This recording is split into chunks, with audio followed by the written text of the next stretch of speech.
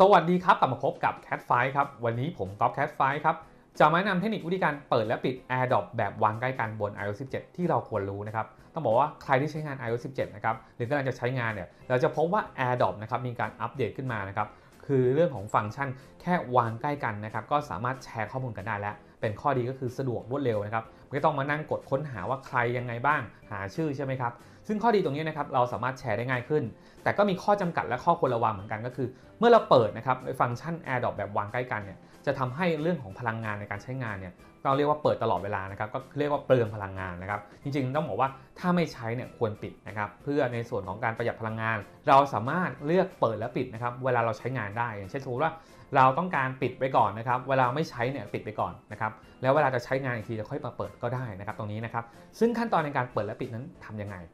ไปชมกันเลยครับ เดี๋ยวเรามาดูขั้นตอนวิธีการเปิดและปิดนะครับ AirDrop แบบวางใกล้กันบน iOS 17 นะครับ ที่เราควรรู้นะครับ ใครที่ใช้งาน iOS 17 อยู่นะครับ แล้วเปิดใช้งานในตัวฟังก์ชัน AirDrop อยู่นะครับ ก็ต้องบอกว่าถ้าเกิดไม่ใช้งานพี่ก๊อฟแนะนำว่าควรปิดนะ ช่วยประหยัดแบตแล้วก็เพิ่มความปลอดภัยด้วยนะครับ ขั้นตอนง่ายๆครับ เริ่มต้นมาที่การตั้งค่าครับ การตั้งค่านะครับ ไอคอนที่เป็นฟันเฟืองนะครับตัวนี้เห็นไหมนะครับ แตะเข้าไปครับพอแตะเข้ามานะครับให้หาหัวข้อคำว่าทั่วไปครับทั่วไปนะครับ นี่นะครับทั่วไปนะครับสัญลักษณ์ตัวนี้เป็นฟันเฟืองเหมือนกันนะครับ กดเข้าไปครับ พอกดเข้ามานะครับ มาที่หัวข้อ AirDrop ครับ AirDrop นะครับหัวข้อนี้เลยนะครับ AirDrop นะครับก็แตะเข้าไปครับ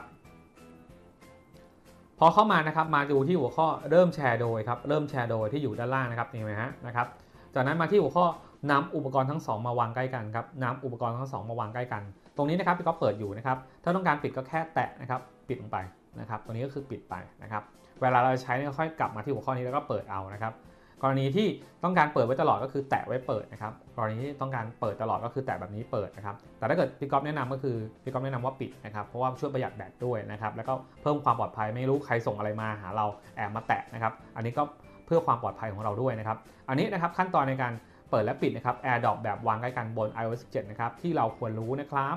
แล้วนี่ก็เป็นเทคนิคนะครับที่มาฝากกันในวันนี้ ถ้าชอบกดไลค์ถ้าใช่กดแชร์ก่อนจะจากกันไปครับอยากให้กำลังใจพวกเรานะครับสามารถกดซุปเปอร์แตงนะครับเพื่อเป็นทุนทรัพย์ในการพัฒนาคลิปต่อไป หรือจะกดติดตามและกดกระดิ่งนะครับเพื่อจะได้ไม่พลาดคลิปใหม่ๆของเรานะครับแล้วพบกันใหม่ในคลิปต่อไปกับ Cat f i ครับ